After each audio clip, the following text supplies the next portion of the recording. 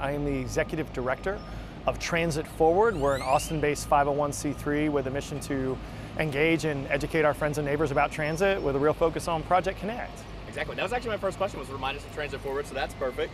Um, but you all are partnered with ATP and Cap Metro. You know, tell us about Project Connect. Let's start general about the terms of cost. I know we've got about five plans circulating right now, so tell us Yeah. where we're at right now. So tomorrow is the last day for citizens to both ask questions and submit feedback on the first phase of light rail. Uh, the Austin Transit Partnership started this process on March 21st. They had over 500 people come to an open house right downtown. And since then, to their credit, they have crisscrossed this city. I mean, meeting with unions, neighborhood groups, disability rights groups at lunch counters, at bus stops, everywhere, getting thousands of people to give their input.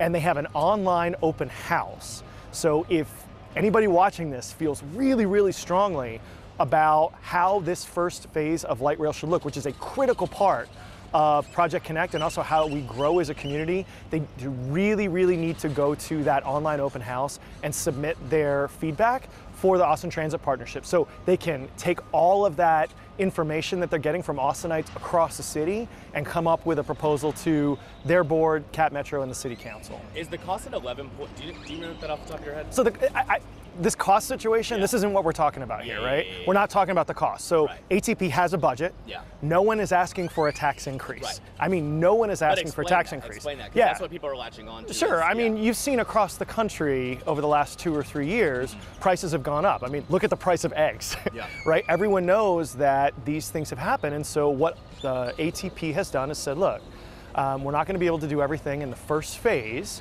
of Project Connect. So, what we're going to do is get as much input as we can on what that first phase looks like, living within their means, within the budget that is set, without asking for a tax increase, and build the best possible first phase so that people can get around easier and it can be expanded to really make sure that that promise to Austinites is kept. And that's what they're looking at right now. And that leads me to, it is just a phase, you know. So there's there's room for expansion Absolutely. and things like that. Yep. But of course, the five that are circulating are, um, you know, people are also latching onto that there's some shorter routes, things of that nature. But I do want to know, since it is just phase one and it is a good start, name some of those uh, like positive expansions and additions going to Sure. add, like airport, things like that. Sure. So the basic part of any big transit system is you have a bunch of different parts, right?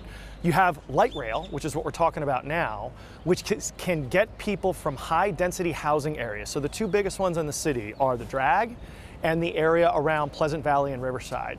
How do you get those folks that live in those places to the places that they work, which is a lot of times right around here in downtown, right? You've got UT, uh, the city offices are down here, all the state offices up by the Capitol, that sort of thing. And so light rail can get a lot of people quickly from places where they live to where they are working, right? And then you have the other things off of that. You have the commuter rail, like the red line that we've got now, that can get folks from farther away, stops a lot less, but can bring folks into town, right? Or get them out to places like Q2 Stadium. I take the red line to Q2 for every single home game for Austin FC, right? And then you have the bus systems that interact with those rail lines. All of this is part of Project Connect.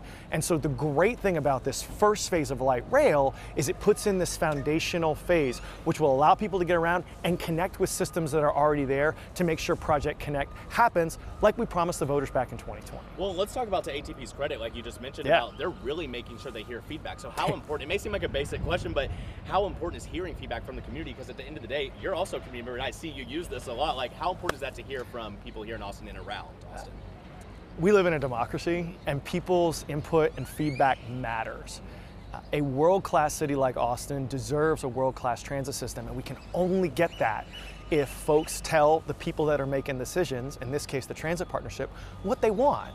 And so they have been absolutely full of energy, full of openness, full of a real ability to listen to folks. And we encourage people, please, if you have strong feelings about this plan and what it could be moving forward, go to that open house online, take a look at the different options and the information being presented, and make your voice heard. And only with all of that feedback will they then be able to get a really, really good foundational first phase plan proposed. And that brings me to you've got House Bill 3899. You've Yeah. also got Mayor Watson that is saying he's really working hard with legislators to fix the language in that, but that he also agrees that it should go back to voters. Some of the things outlined in that bill was what the debt would be used for, how much debt product leaders need to issue, and then the tax rate needed to pay back the debt. So I know he mentions. I think he was saying if we hold that election before, it wouldn't really, the bill wouldn't really necessarily affect that. But in general, taking it back to voters, how do you feel about that? Would that be a big setback in terms of timeline? You know, what would that look like? It is intensely frustrating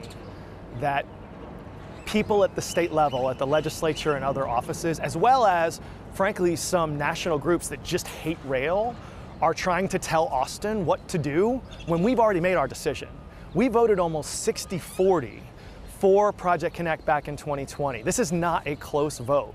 We have made our intentions clear. We want to keep moving forward. And it is very, very frustrating when these outside groups and these people with different ideologies who disagree with that are trying to have a second bite at the apple.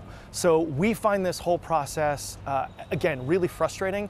And unfortunately, if it comes down to a vote, we'll just have to fight these outside groups and fight these people that don't want Austin to decide for themselves what to do. We're just going to have to decide it again. And I know that we at Transit Forward, we believe in protecting as much as we can this generational investment that Project Connect will provide in a world-class transit system. Well, and that's so my last question really is let's say that there should be a setback or something like that.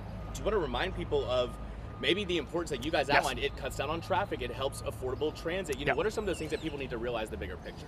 affordability.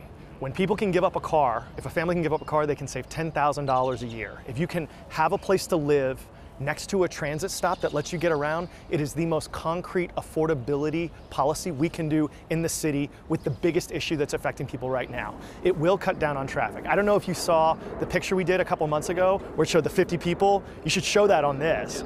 Traffic will get cut down when more people can take transit. Climate change.